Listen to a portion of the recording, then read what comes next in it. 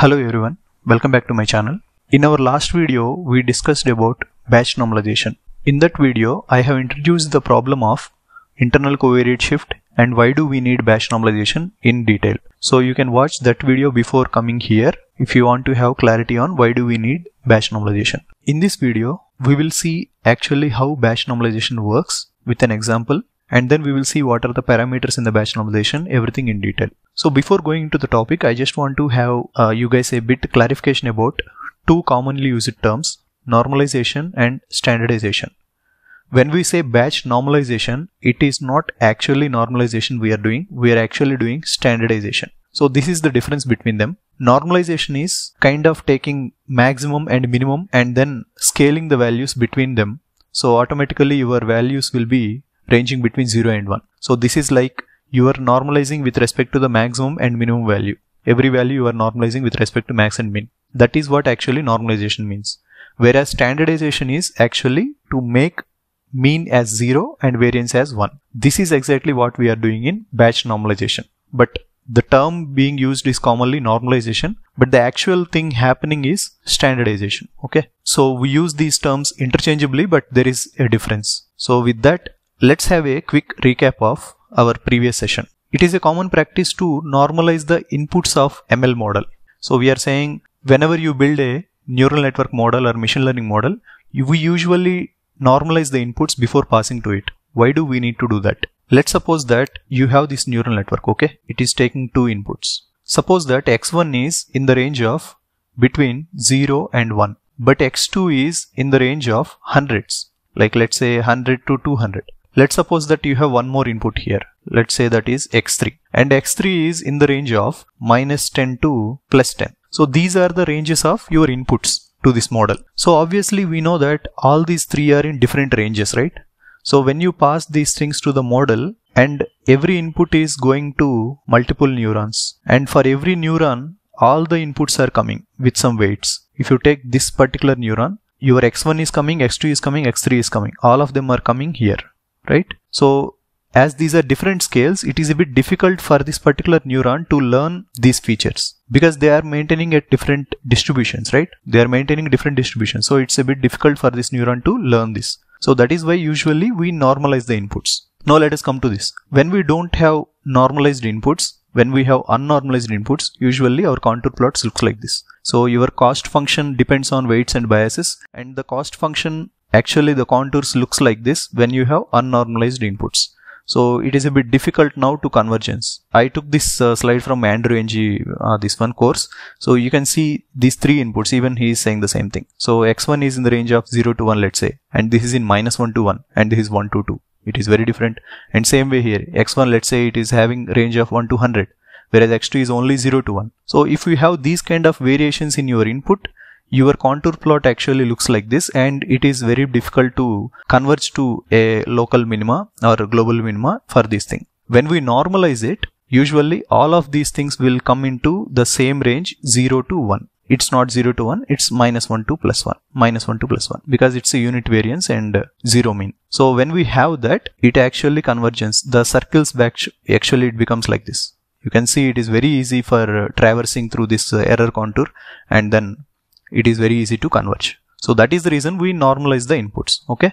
That is what we are doing. Let's say this is my input. We are doing the scaling here. Scaling in the sense you can say normalization. So whatever you call it. So it is passing through this particular layer and it is kind of creating this is intermediate representations or you can say activations, right? Now these activations are getting passed to the second layer. We are doing the scaling here or normalization here, but what about here? For this particular layer, this is my input.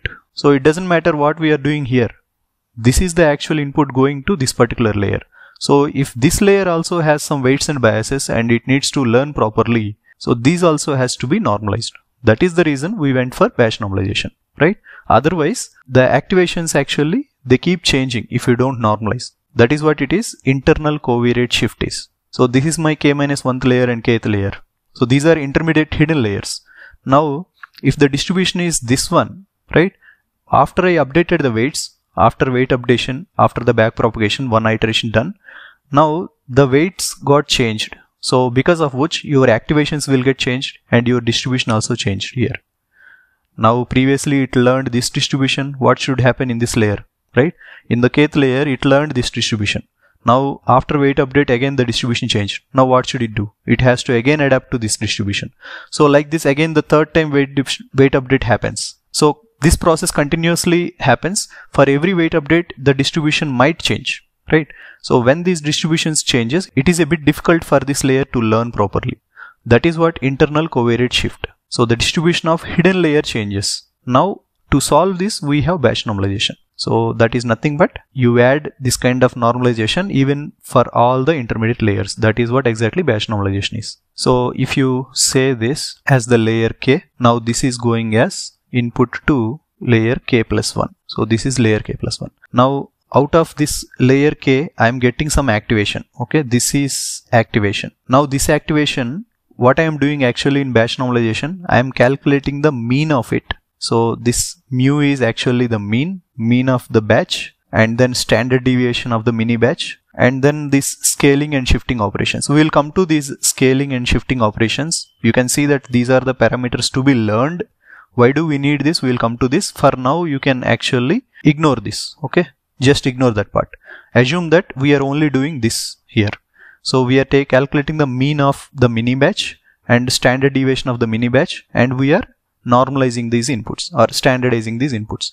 Now, once I did this one, this will be actually zero mean and then unit variance. Now this will go as input to k plus 1th layer. This is what we have seen previously also in the last video.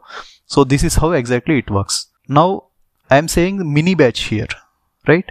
So what does it mean mini batch? Because usually this is one activation for one particular node in your layer okay so like this one node is there so one node output is x is this only single value or is this is having multiple values if i want to calculate the mean it should have multiple values right? So that is what mini batch is actually.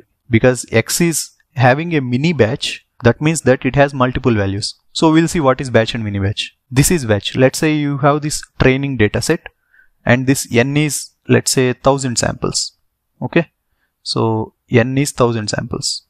Now, all these thousand samples, if you take at a time in a single iteration, you are giving to the model and then you are computing the gradients and updating the weights. That's it, done. This is actually batch. So it is a single thing. There are no multiple batches. It is a single batch.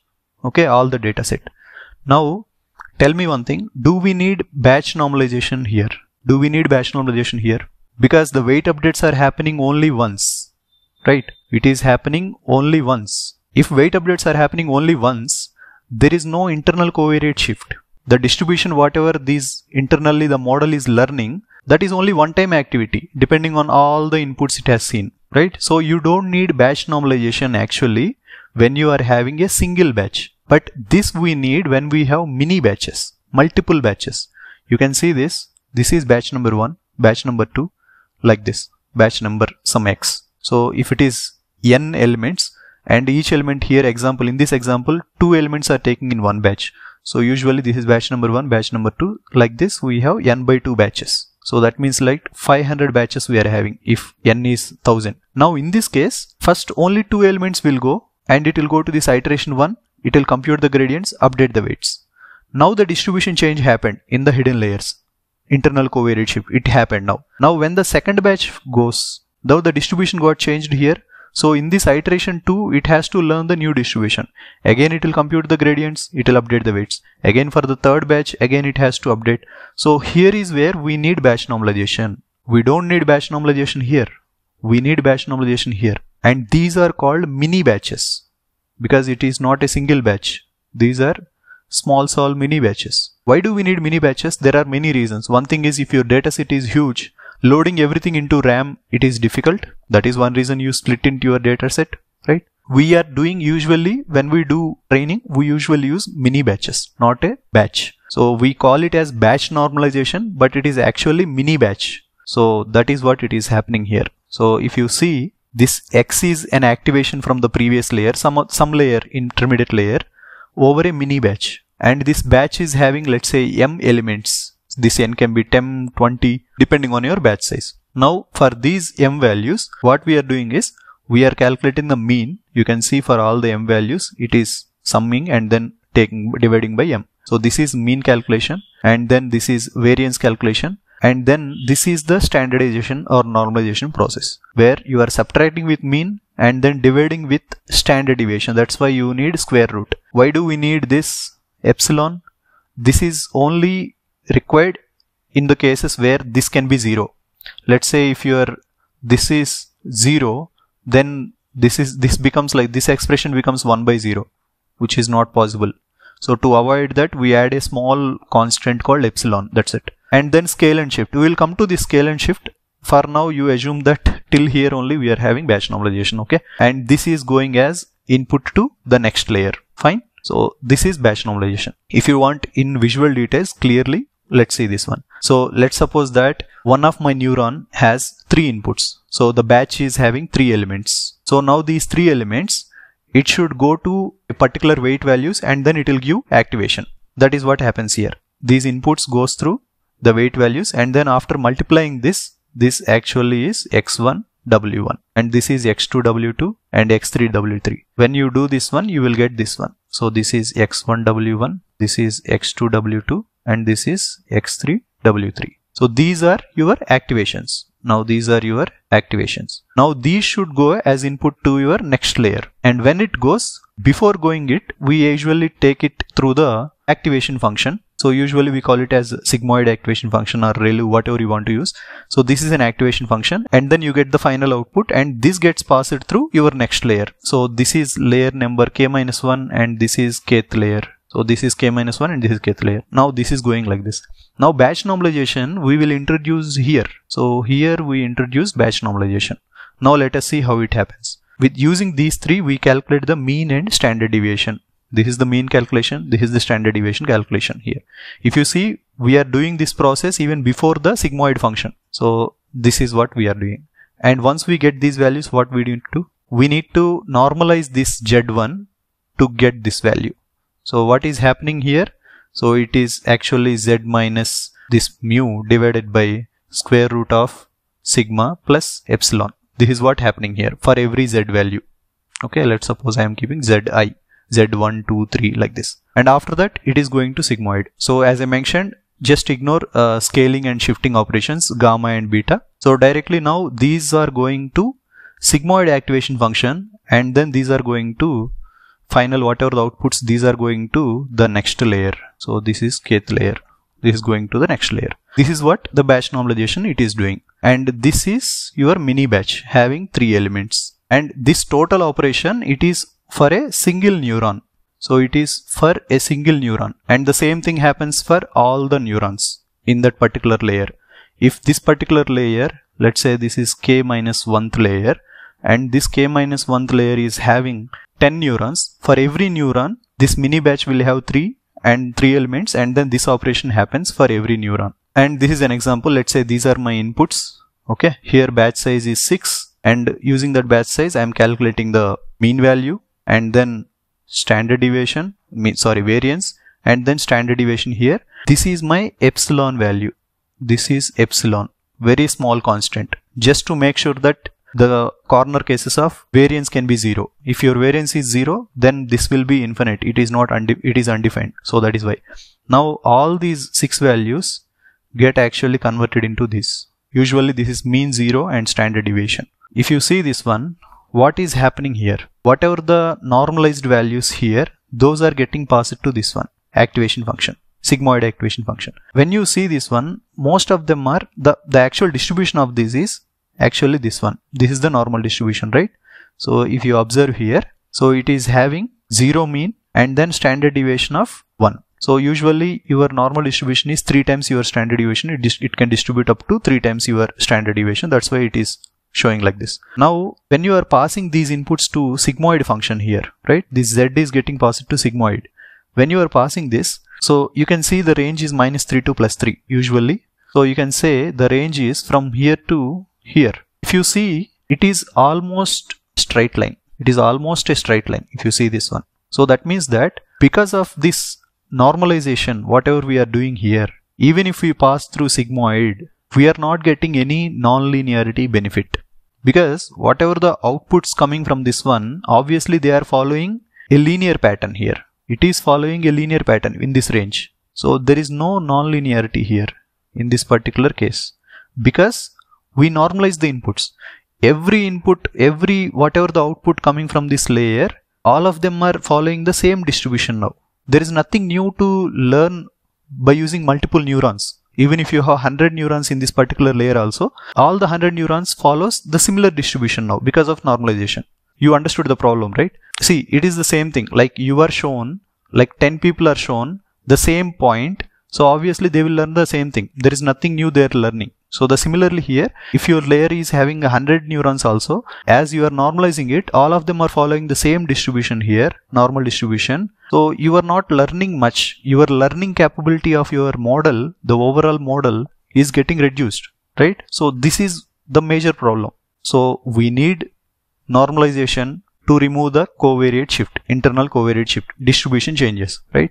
But when we normalize it, then it is losing the learning capability. What do we need to do now? Should we again get back to the previous one before normalizing? So whatever we have done here for normalizing, we should do the reverse of it to get some distribution like this. Should we do that? What about this? I am saying this is gamma and beta and this is scaling and this is shifting. These are scaling and shifting parameters. So now what happens? Is this not what is happening here? If it is the input to this, right? Whatever z, zi here, sorry, whatever zi here, that is your normal distribution with zero mean and unit variance. And now when you do this scaling operation and shifting operation, it is kind of creating some other distribution here, right? Is this not what is happening? When we do this scaling and shifting, it will actually take your values which are having zero mean and unit variance and it will generate some real values. It can be of any range depending on your shifting and your scaling. So when you scaled it by some 100, so the all the ranges will become 100. Instead of 0, the mean will move to 100. So it can be of any distribution. That is the reason now this one actually enables the learning capability because this can be some other distribution. We don't know what it is. Depends on these parameters. So now this increases the learning capability. But what exactly, how it actually increases the learning capability? Let's see. If you see clearly here, we are having, let's say some distribution here like this. Okay. And by normalizing it, you are making it like this. Okay? So this is 0 and uh, minus 3 to plus 3 right? So this is 0 mean and unit variance. And again by scaling it you are again creating this some kind of distribution. Is this the reverse of this? This scaling and shifting isn't it the reverse of this operation? So why are we doing this normalization and why are we again doing the reverse of it? So if you observe this one right if my gamma is equal to sigma and my beta is equal to mu if these are equal, then obviously my z cap, whatever I am having, it will be equal to z tilde. Isn't it true? This is true, right? If these are the same operations, both are equal, if this is equal to this and this is equal to this, obviously we are again getting back the same distribution. Whatever it is having here z, then this, this is equal to the same thing. Sorry, this is not uh, z dash, it is actually z. Both are equal. Isn't it what is happening? So we are taking this here and then we are doing normalization and you are getting this distribution and by doing scaling and shifting you are again taking back. These both are same. But do we always get this one?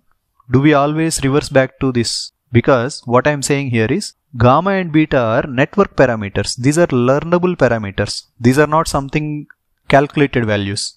These are learnable parameters based on the network. Now why do we need these learnable parameters? Because what happens in the network is, listen carefully, when you do this normalization and after that this learning capability it is losing, to add more learning, the network observes, okay, over the number of iterations, the network keeps observing the patterns of your distribution for that particular neuron.